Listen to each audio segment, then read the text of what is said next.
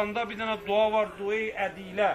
O duanın mənası budur ki, insan gündəlik həyatında Allahdan istəməlidir ki, Allah ruhum bədənimdən çıxanda şeytanı mənə müsəllət eləmə ki, mənə imansız dünyadan aparsın. İnsan ola bilər 100 il ibadət eləsin, gedəndə şeytan Allahı o inkar elətdirsin. Ona görə də məxsus dualar var. Dualardan biri budur ki, Allah aqibəti xeyr inşallah dünyadan gedər. Allah bizim özümüzü, əhl əyalımızı, evlatlarımızı, qardaşlarımızı, bacılarımızı, valideynlərimizi dünyanın harasında olurlar olsun Allah həmişə müvəffəq müəyyət qərar verir inşallah. Onların hamısına məxsus mərhəməti, məxsus bərəkəti özümüzlə bərabər inşallah nazil eylə. Xudaya bizim bütün bu zəhmətlərimizi Allah sənin dərgahı və ləyaqəti yoxdur, amma dərəcəyi alidə qəbul elə.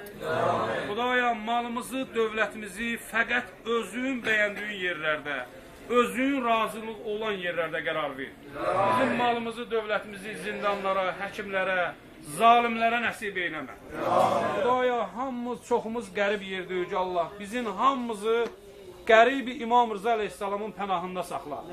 Xudaya əhl-i beytin də ziyarətindən, Peyğəmbər, onun əhl-i beyti, Məşəd, Kərbəla ziyarətindən bizi məhrum eyləmə.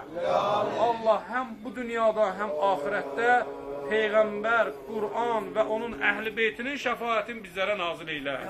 Bizim ruzimizə, kisbimizə, bazarımıza, biznesimizə, ticarətimizə özün öz məxsus bərəkətləri nazil eylə. Kimin hardasa borcu varsa Allah cəmi borcların tezliklə əda olunmasına özün yardım eylə. Və bu həccimizi qəbul eylə.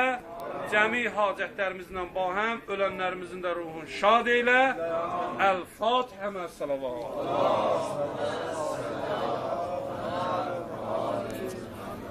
Bismillah.